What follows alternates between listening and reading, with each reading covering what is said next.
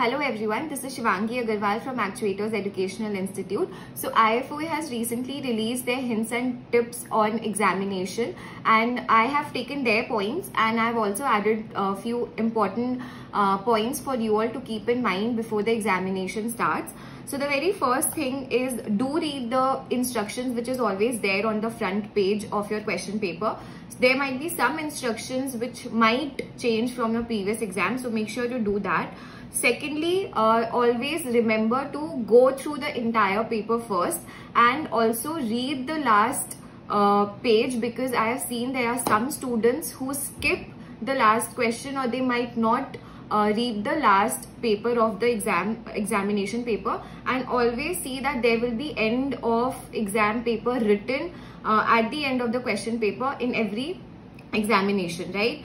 Next thing is when you read your question paper make sure you highlight some important keywords and at the same time you can jot down some points in pen and paper while reading the question right? This is known as planning your uh, exam paper beforehand uh, planning your exam type basically and next thing is you can give your uh, answers in any order you like but make sure you do not skip any question in this process. So uh, make sure you answer all the questions. Make sure you write answer numbers properly in bold. What i will suggest is that you write one answer in one paper in one uh, page and you can move to the next question in the next page and uh, if suppose question 2 has three subparts they might be written in one page. But when you're moving to question 3 make sure you do it in the next word page. It looks good right? That is one thing. Second thing decide how much time you will give or allot allot to each question if it's an mcq do not waste um, more than one one or two minutes on one particular mcq also if it's a two mark question or it's a 10 mark question allot the time accordingly right and also write the number of points accordingly. For a two marker, marker question, do not uh, scribble for the entire page. You have to write maybe th uh, three to four points for that. And for a 10 mark question, obviously you have to write minimum one to one and a half pages, right?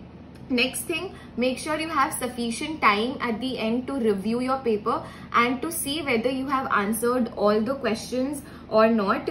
It is very important to show workings clearly in all your answers. Uh, you might uh, get a wrong final answer but you will definitely get marks for the steps you have performed. So always remember to give uh, steps in all your answers because you will receive those step markings right next thing is uh, use the full time available given to you during an examination. Generally uh, if you finish the exam 10 or 15 minutes before then please uh, read your answers and make sure you have uh, written it clearly and correctly. The next thing is uh, the additional 5 minutes which is given to you to download the paper make sure uh, during that time you utilize for downloading and reading your entire question paper right? This is very important. Also one more thing which you have to keep in mind is that it's an open book exam. So do not waste your time uh, going through the material during your examination time because it is actually you are wasting your time doing so right? So you prepare yourself very well. Do not waste time in searching for your answers uh, from these materials which are there. Now the few additional points which are there which i have added is that firstly you have to uh, switch off the auto save mode if it is there on your excel and word file. Make sure you do that and keep saving your work. Just after one answer keep saving your work as you move ahead. Um, also for those who have R programming cs1 and cs2 for you all make sure you copy paste the graph into your word. I have seen generally students forget to paste the graphs from R to Word and they lose 4 to 5 marks. So do not do that. Make sure you paste your graphs into Word before submitting.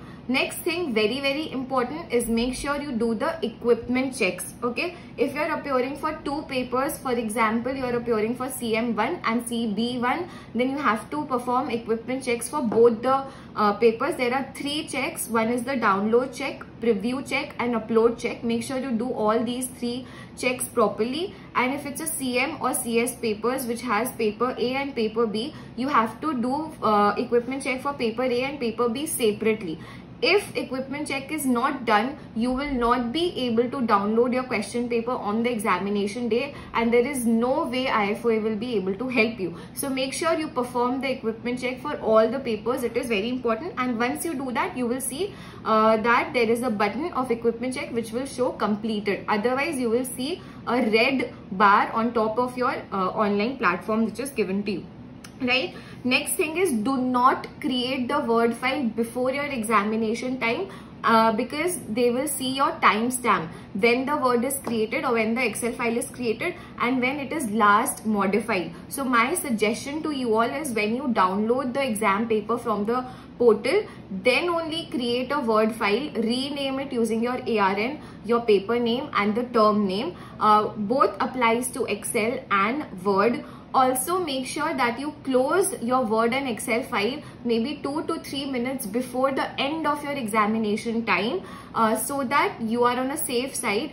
Do not open the word and excel file again during the upload time the 15 minutes upload time which is given to you because uh, doing that will change the modification time and your timestamp will increase so timestamp is very important. It is checked by IFOA before uh, sending the papers for review. So make sure you do not create the Word and Excel file before and you close it just before 2 to 3 minutes to be on a safe side. I say to close uh, the files 5 minutes before right that is one thing which you have to keep in mind uh, next thing very important for those who are appearing for cm1 and cm2 and cp2 maybe uh, have excel files which is given to you by ifoa in a zip folder. Make sure you unzip all these files before starting to write your answers why is this important? Because if you do not unzip your excel file and, and if you straight away start your working uh, in that folder you will not be able to save your work done in your excel file. So make sure you unzip all your files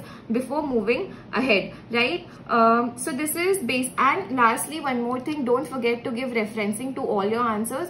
Uh, my referencing video is already uploaded so make sure you go and check that referencing video.